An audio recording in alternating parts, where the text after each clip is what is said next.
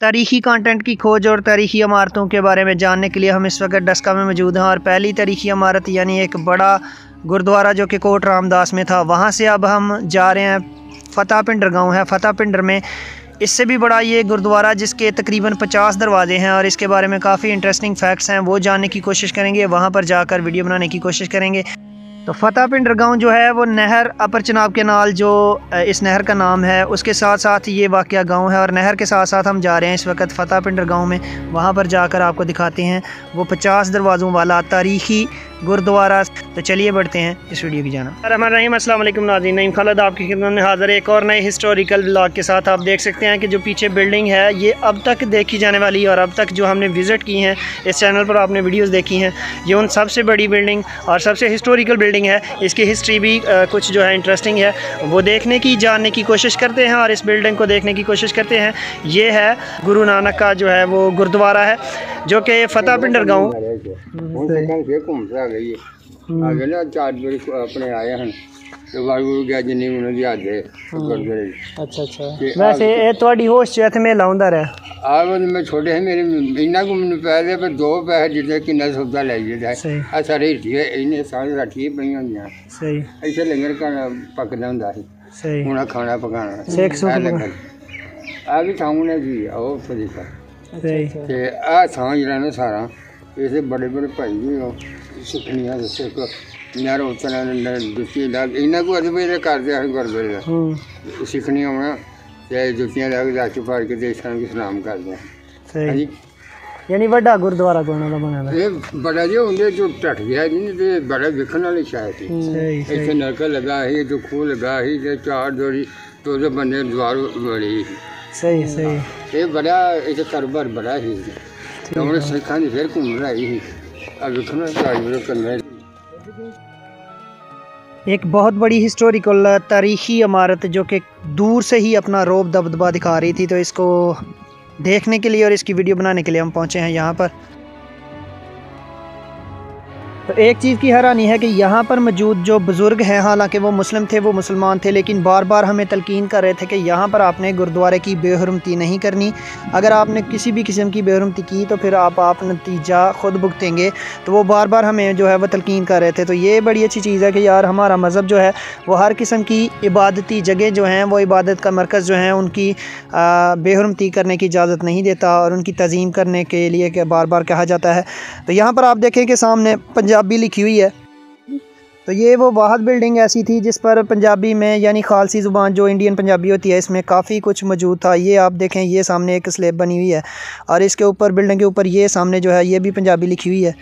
तो ये जो लोग पंजाबी पढ़ सकते हैं या पंजाबी जानते हैं काइंडली कमेंट करके ज़रूर बताइएगा कि यहाँ पर क्या कुछ लिखा हुआ है।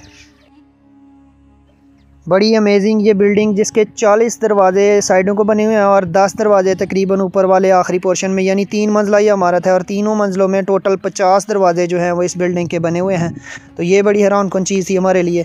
तो ये पीछे से ये सीढ़ियों का निज़ाम बना हुआ है, सीढ़ियों के ज़रिए ऊपर वाली मंजिल पर जाना और फिर तीसरी मंजिल तक जाने के लिए ये सीढ़ियाँ बनी हुई हैं। तो वहाँ तक भी जाकर हम देखेंगे, सीढ़ियों के ऊपर जाकर जानने की कोशिश करेंगे। तो ये आप देख सकते हैं, यहाँ पर भी एक पंजाबी में मौजूद ये स्लिप बनी हुई है सेल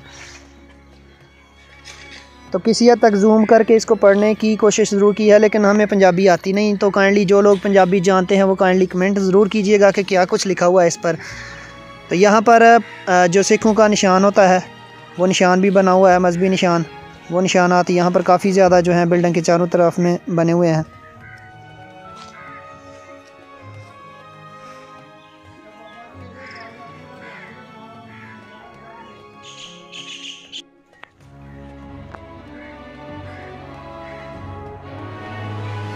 तो इस साइड पर भी काफ़ी ज़्यादा दरवाज़े और काफ़ी आलिशान ये बिल्डिंग बनी हुई है।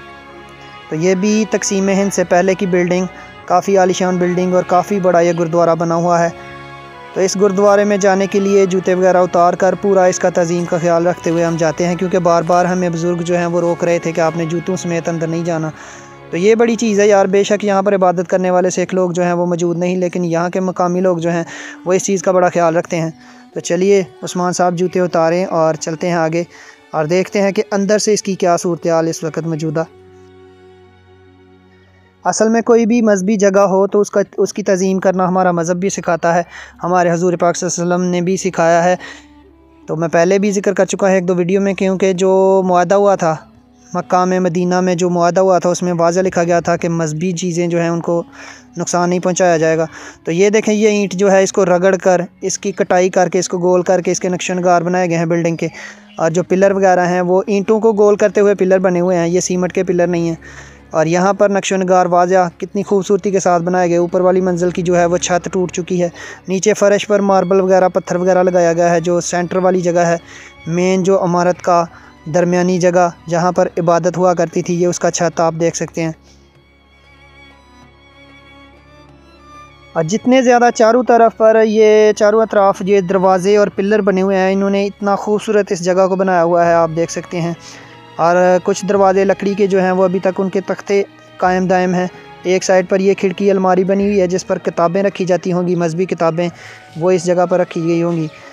तो कुछ ऐसी ही सूरत हाल, दूसरी बिल्डिंग की भी है, दूसरी इमारत, यानी कि दूसरी मंजिल जो है, उस पर भी इसी तरह की खिड़कियाँ, अलमारियाँ भी बनी हुई हैं और दरवाज़े भी बने हुए हैं, आप देख सकते हैं। तो पचास दरवाज़ों वाला ये गुरुद्वारा, बहुत बड़ा गुरुद्वारा है अभी तक, जितने भी देखे हैं हमने, उन सब में से ये सबसे बड़ा गुरुद्वारा बना हुआ है। तो बुज़ुर्ग बता रहे थे कि इसकी वीडियो वायरल होने से जो है, वो गवर्नमेंट थोड़ी सी हरकत में आई है और महकमा अकाफ जिसके अंडर ये बिल्डिंग्स आती हैं तारीखी इमारत आती हैं, उन्होंने थोड़ी सी हरकत की है और इसको थोड़ा सा सेव करने की कोशिश ज़रूर की है। तो चलिए यहाँ सीढ़ियों से ऊपर जाने की कोशिश करते हैं। दूसरी बिल्डिंग पर क्या कुछ मौजूद है वो जाने की कोशिश करते हैं। लेकिन मेरे ख्याल से टूट फूट का काफ़ी शिकार हो चुकी है जगह। और यहाँ पर ये देखें, इस जगह पर तो रास्ता ही नहीं है आगे जाने का। ये रास्ता नीचे गिर चुका है। पोल यानी पोल बना हुआ था और नीचे जो लेंटर पड़ा हुआ था वो गिर चुका है। तो चलिए ऊपर वाली मंजिल पर अब जाते हैं, तीसरी मंजिल पर।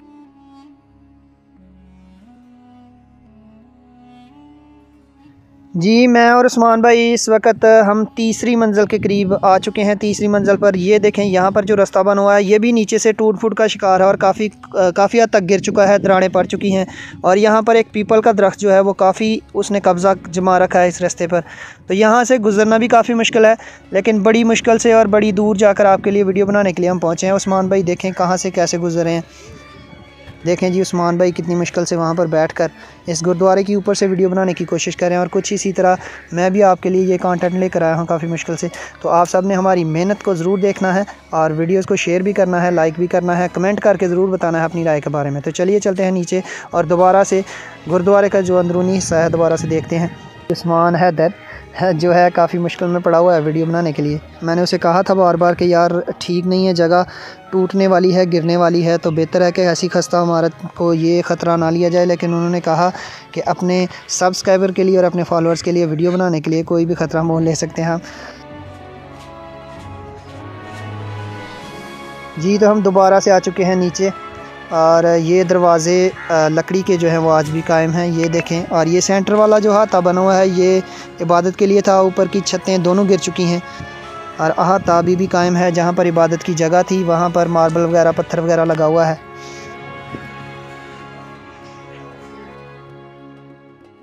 जितनी बड़ी और आलिशान ये बिल्डिंग है, यहाँ पर भी मजहबी लोग जो है वो काफ़ी तादाद में आते होंगे। और यहाँ पर इबादत करते होंगे और इस जगह की रौनकें जो हैं वो देखने वाली होंगी। लेकिन अब ना वो लोग रहे, ना वो रौनकें रहीं। लेकिन ये बिल्डिंग आज भी टूटे फूटे निशानात के साथ मौजूद है।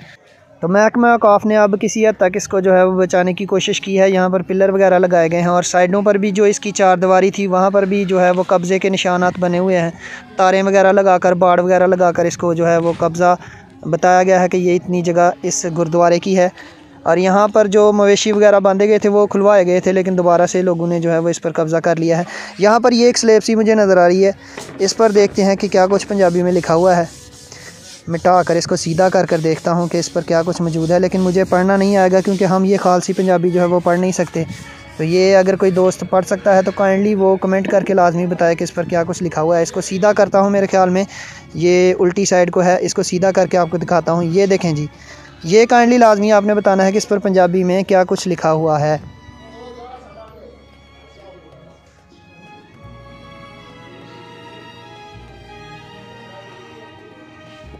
ये देखें जी, ये वो पिलर हैं जिनके बारे में बता रहा था कि महकमा काफ ने इस बिल्डिंग के चारों अतराफ में ये पिलर्स लगा कर तारें वगैरह लगा दी हैं ताकि यहाँ पर कब्ज़ा ग्रुप जो है उससे छुड़ाया जाए इसको, लेकिन अभी भी यहाँ पर काफ़ी कब्ज़ा ग्रुप मौजूद है। तो यहाँ पर एक दरवाज़े की जो सरदल है वो पत्थर से बनी हुई है और इसके ऊपर भी पंजाबी खालसी लिखी हुई है। ये देखें, और ये क्या कुछ लिखा हुआ है यार काइंडली ये लाजमी कमेंट करके बताइएगा कोई दोस्त अगर जानता हो और इसको पढ़ सकता है तो। जी नाजीन तो आज हमने आपके साथ शेयर की है बहुत ही आलिशान और तारीखी इमारत की हिस्ट्री और ये बहुत बड़ी इमारत है। इन नेक्स्ट आने वाली वीडियोज़ में भी इसी तरह तारीखी वीडियोज़ आपको मिलती रहेंगी तो अपना बहुत सा ख्याल रखिएगा, दुआ में याद रखिएगा। मिलते हैं अगली वीडियो में। अल्लाह हाफ़ अल्लाह निगेबान।